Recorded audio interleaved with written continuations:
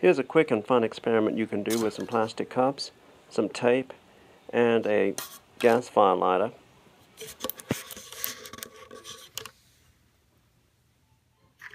Just place some gas for a few seconds in the taped together cups and then hit the ignition.